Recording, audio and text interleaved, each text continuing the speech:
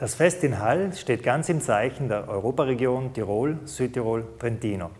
Dort können Sie die Euregio mit allen Sinnen erleben.